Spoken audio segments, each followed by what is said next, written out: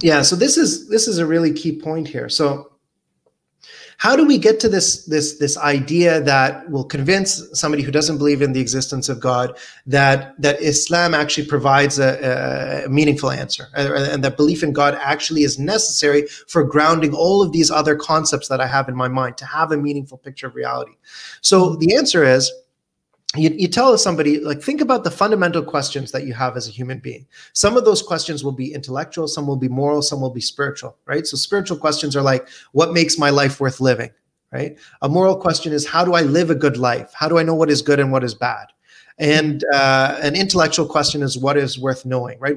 I have this intellectual capacity this ability to do logical reasoning. What am I supposed to do with that? Why is it that the universe is comprehensible to a biological organism like myself? What's the whole point of that? Is it just some pointless accident that I have this mind that is able to unlock metaphysical secrets about the universe? Or is there actually an intended purpose behind this? So every single human being has to come up with some meaningful answer to these three domains of questions mm-hmm. intellectual, moral, and spiritual. You can even unpack one of them further. So moral, if you unpack it further, you can see that there's many reasons why belief in, in God is necessary to have a coherent answer to morality. The first is moral ontology, what, which is the existence of good and bad. So a universe without the uh, existence of God, a universe that is that is comprised solely of, of particles, uh, it, it, it, fails at, a, at an ontological level to have moral good and bad. Morality becomes arbitrary preferences of different arrangements of particles. So the moral ontology, moral epistemology, how do you know what is good and what is bad? Moral right. psychology, what is the ultimate motivation uh, to pursue good and, and, and to avoid bad? Um, moral sociology, how do human beings congregate together with an agreed upon set of norms about what is good and what is bad? In order to have a coherent answer, to spirituality, morality, or intelle- uh, intellectual questions, a person has to have a way of making sense of all of this. And so, if I could summarize like the whole idea behind the article in a nutshell, it's not about um, you know it's not about what what we can doubt and, and trying to defeat doubt with a philosophical proof. It's about what makes sense. What is it? What makes sense?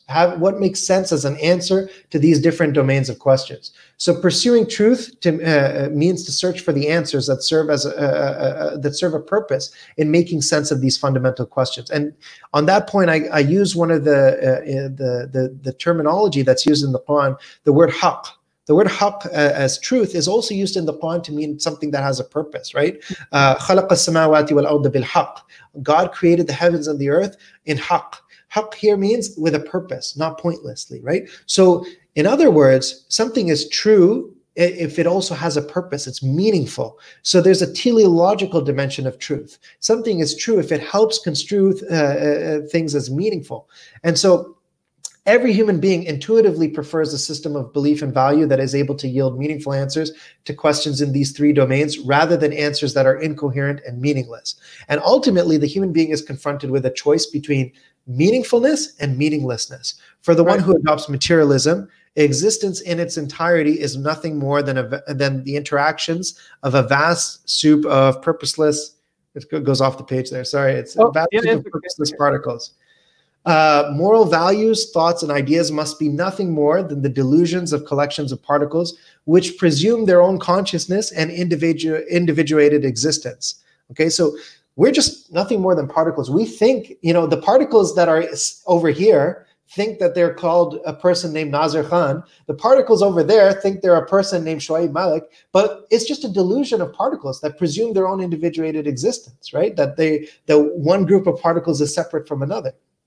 Everything in existence that is conceived to have meaning is at its very root and essence ultimately meaningless. Um, and even then, let's say somebody says, "Okay, that's what uh, my my logical reasoning leads to. That's what I'm going to affirm. I'm going to be skeptical. I'm going to affirm that the everything is ultimately meaningless." Even if somebody gets to that point, that nihilistic conclusion, and they say everything is ultimately meaningless, that means existence. It's that means that they themselves are making that claim because they're trying to to make a truth claim. They're trying to make some a claim that's meaningful, and hence they are affirming meaning even as they are trying to uh, affirm meaninglessness. Mm. So that's that's a point that Ibn Taymiyyah also makes, right? He says, if you ask any human being, would you rather that your mind is populated with true beliefs or false beliefs? everyone's going to say, I'd rather have true beliefs in my mind, right? If would you rather that your your your mind is filled with beneficial desires or harmful desires?